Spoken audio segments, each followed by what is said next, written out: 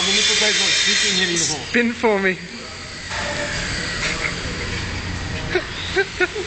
now the other way. Slow, show me the back. That looks like a really nice blouse. Cuts low, I find. And very low through here involved a bit of nipple tape.